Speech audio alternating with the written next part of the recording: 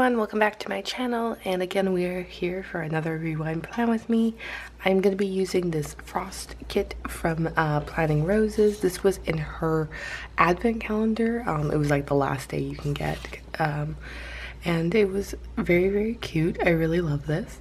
Um, it's very different. It's like this black and bluey green kind of um, kit and here's full boxes, washi and everything, headers. Again, this week I'm gonna just do um, date, the date uh, dots and use deco.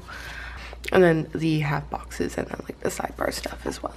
So um, I really like what I did last week and uh, I'm thinking of bringing back some foil again.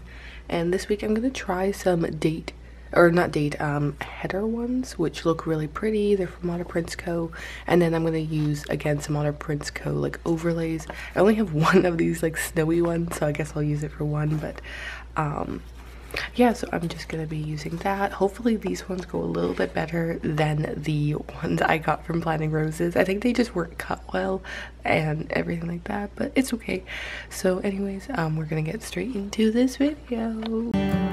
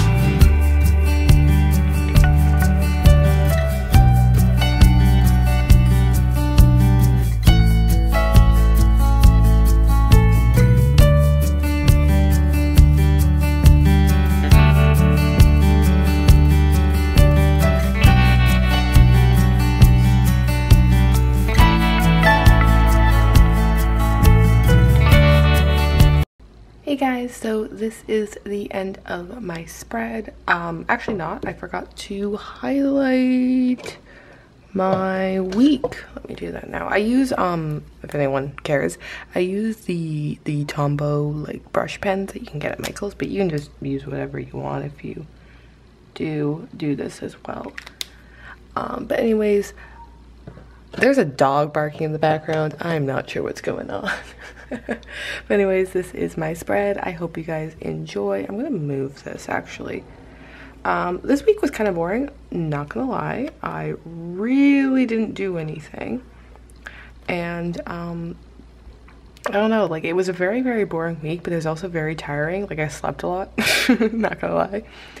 But um, no, it was really fun because I actually, um, my like I said um, a couple weeks ago, um, my best friend is pregnant right now, and I got to feel like the little baby like move around and like kick and stuff. And she, oh, I'm so I'm so excited to meet her, like literally so excited to meet her, and so so so so so cute but anyways um yeah it was a pretty boring week but i did celebrate like my one year that living in my apartment right now and it's kind of weird to think i've been here a year it's really weird actually if i think about it. But anyways i hope you guys enjoy this video. Um stay tuned for more and i will see you guys in next week's plan with me. Bye